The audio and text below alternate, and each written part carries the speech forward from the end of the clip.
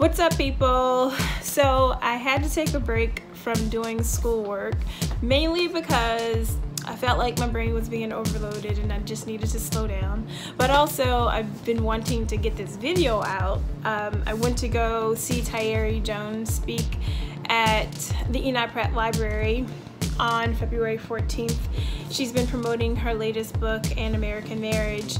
She was so amazing. Just the experience with uh, meeting her, listening to her answer the audience question. She was so personable.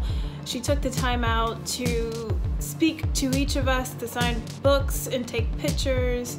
Um, it was just a really good atmosphere. They held it in the um, African American collection. Um, so it was a nice and close and intimate. When I went to the Pratt for um, a Colson Whitehead event, it was a larger space. Uh, but this space, it was smaller. We were all together. It felt really good.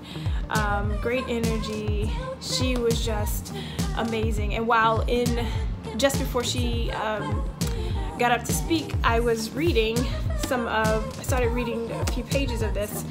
Um, I purchased this while at the event, and uh, I was just drawn into this book, immediately drawn in. I haven't gotten as far as I'd like.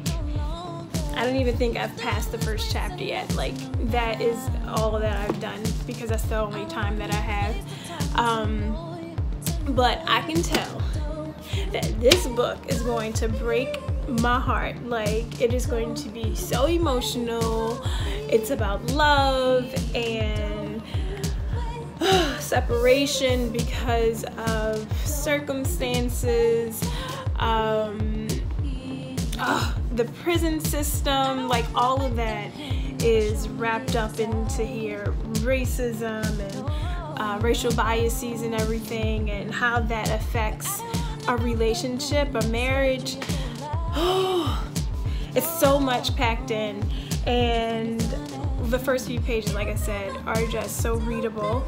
Um, you follow along easily. She tells a story. It's amazing. She's an incredible storyteller. Um, she got the story from eavesdropping in a conversation from a couple that was like arguing arguing mall somewhere her characters and so her characters were formed from that and the story took shape from that conversation.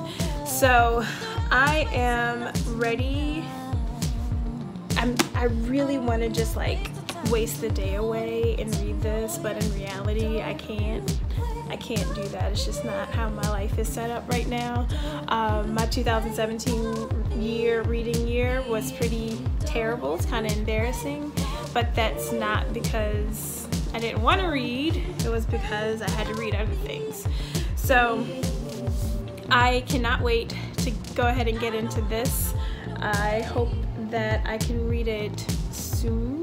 If I don't actually read the physical book, I'll um, be listening to it. I actually have it on hold through Overdrive, and what I do is read it listen to it and then follow along in the book that helps me get through it quicker. If you read it, just let me know what you think. I know that there are uh, some people who really enjoyed it, who have actually read Tayari Jones before and really liked her writing. So let me know what you think in the comments below catch you all in my next video.